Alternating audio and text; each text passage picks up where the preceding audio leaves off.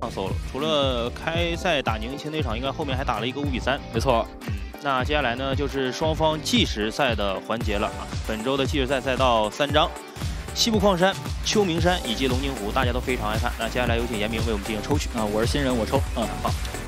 看一下，昨天也是这个赛季好像第一次抽，就来张龙津湖。呀，哎，你现在点上特别有阴影，你知道吗？是吧？光打了吧？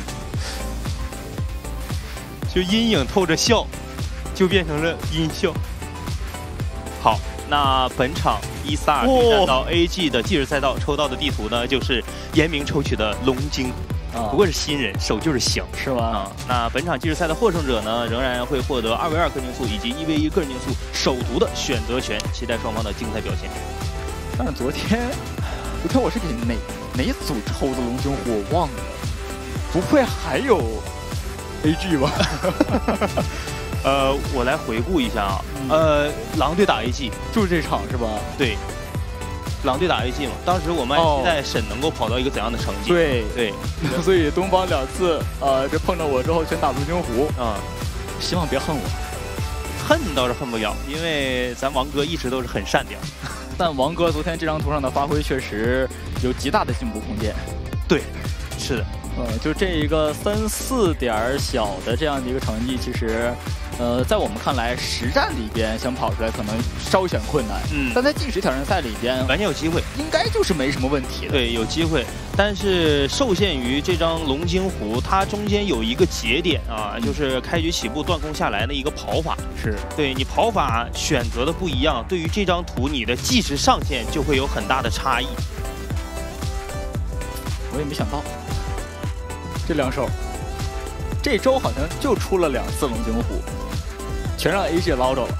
哎呀，让你这么一说，好像还挺赚呢。你这和约上采访时候一样的，我应该是联赛这个第一个掉下去的吧？啊，是，这可骄傲了呢。嗯，这个好歹也占了一项啊。但是我感觉王哥的眼神相较于刚登场的时候略显呆滞啊。嗯，不能两次都是我吧？但两次你抽的，两次他跑的呀。啊。缘分嘛，妙不可言。但这一次孽缘，对手换了，对手换成紫电了。嗯，紫电说：“等会儿，好像谁还不是受害人似的。”哎，嗯，如果让我预测的话，我依然会觉得可能是一个三四。我觉得三五吧。哦，要再往后推一点，就是三五能赢，都不是这一次能跑出三五。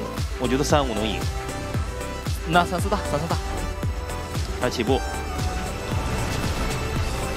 就不知道为什么，就看两位选手辛苦的起步，都觉得有点心疼。对，我有延续边上起步都很保守的。对，紫颠，我，这直接一个超级求稳的跑法了。其实俩人都有点求稳了。嗯，但东方是起步还是有一些小失误的。对，目前落后了半秒多。对，但我觉得紫颠如果要是以这样的稳定性啊，第一局全程稳定的跑下来，应该是一个三五的成绩。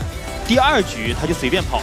就可能随缘了。那你东方要真能跑一个三十四的话，我输了也说不上服，但是也愿意哈。对方无了，俩人心知肚明，在计时赛上呢，其实都不算是那种嘎嘎极限的选手。对，所以说可能谁真是稳出来一个成绩就能好。是四十八点一七的一个单圈，嗯，这个单圈按照这个跑法来说，紫电已经非常的稳了。对，真的非常的稳。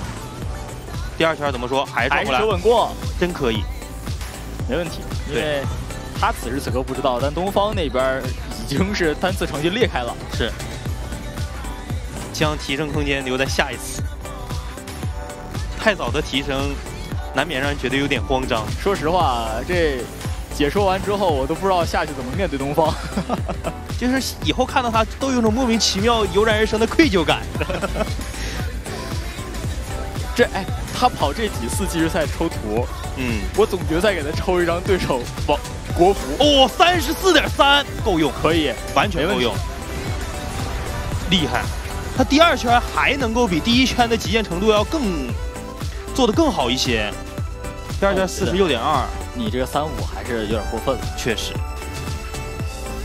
呃，这个三五啊，真的是看了昨天沈的表现以后啊，我觉得其实现在沈的计时已经完全征服了。至少是我，我觉得应该是我们，嗯嗯，所以看到他跑了一个三十四，我觉得，如果我没记错的话，昨天其实两位的单圈也在四八中。嗯，甚至说你这局我没记错，紫颠是一个四八点一，四八点一。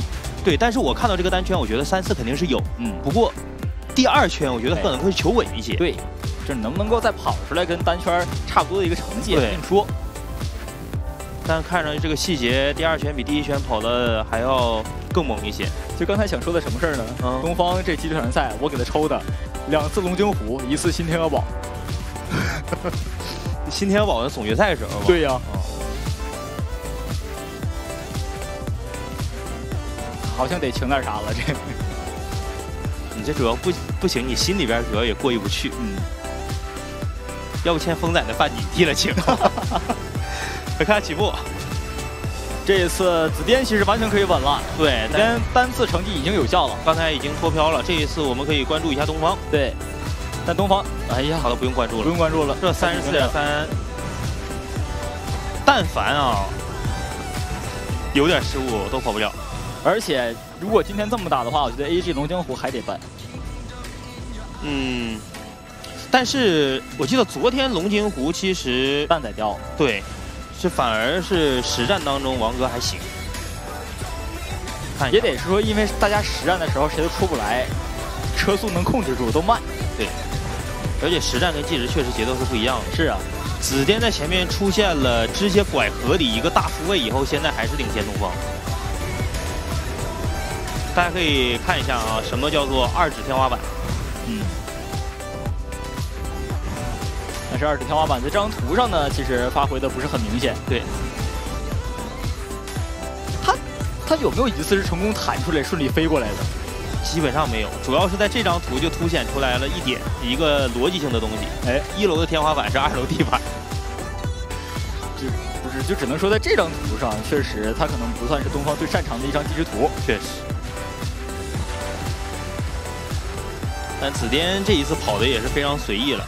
今天二 V 出战的呢是阿妮和 E，对，所以紫颠完美完成任务，三十四点三的成绩，拿下计时挑战赛的胜利。我们可以恭喜 estar 紫颠。